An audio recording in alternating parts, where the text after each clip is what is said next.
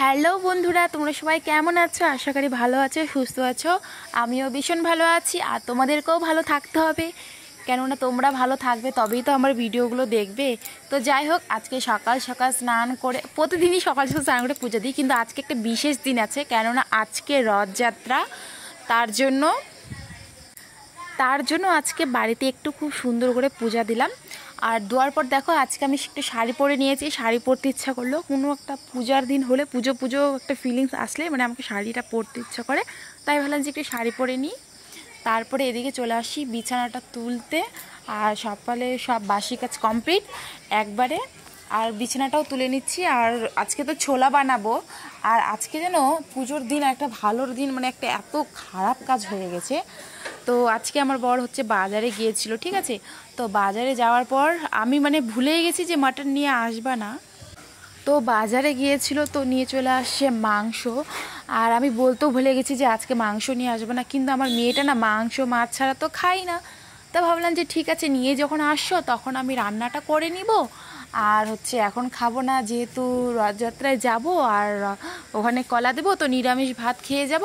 আর আসে না হয় রাত্রেবেলা হলে খাব সেটাই বললাম। তো আমার হাজব্যান্ডকে দিয়ে দিয়েছি আর মাম্মামকেও দিয়ে দিয়েছি, আর আমি কিন্তু খাইনি। মানে এই ঘটনাটা ঘটে গেছে বাড়িতে। তারপরে আমি এদিকে বিছানাটা মানে তুলছি। তো সেটা এখনও হয়নি, তো তোমাদের সঙ্গে আগের থেকে শেয়ার করে নিলাম। আর এদিকে দেখো বিছানাটা আমি তুলছি, মাম্মাম ক্যামেরাটা করে দিছে আমাকে। তো আমি ঘুগনি মুড়ি খাচ্ছি আর মাম্মা মামাকে ক্যামেরা করে দিয়েছে আজকে। আমি তোমাদের সঙ্গে না অনেক কিছু শেয়ার করতে চাই, কিন্তু মানে কি বলব শেয়ার করতেই পারি না। মানে ক্যামেরা ধরার মতন থাকে না। আমার মেয়েটা আরেকটু বড় হয়ে গেলে আর কোনো অসুবিধা হবে না। আর আমি কিন্তু এরকম বসে শান্তিভাবে কিন্তু না খেলে না হয় না। আমি মানে কি বলতো, সব কাজ কমপ্লিট করে তারপর সব কাজ কমপ্লিট করে তারপর কিন্তু আমি খেতে বসি। রান্না করতে করতে, আধা রান্না থুয়ে আমি খেতে পারি না। আর মানুষ মানে কাজ করতে করতে একটু খেয়ে আমি দেখছি অনেক কাউকে এরকম, কিন্তু না, আমার দ্বারা এটা হয় না। কেন যে? তো এই যে চলে আসি, রান্না বান্না করছি, কাপড় ছেড়ে চেঞ্জ করে, তারপরে এই যে দেখো, ভাত বেড়ে নিয়েছি। তো এই যে রোববার বলতে মানে নিরামিষটা তো কোনো মতেই হবে না। তারপরও এদিকে তো পেঁয়াজ তো দিয়েই দিলাম, আর আমার নিরামিষ কোথায় থাকল?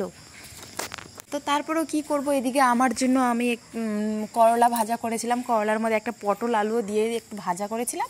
আর ওইভাবে আমি ভাত খেয়ে নিলাম, মাটনটা আর খেলাম না।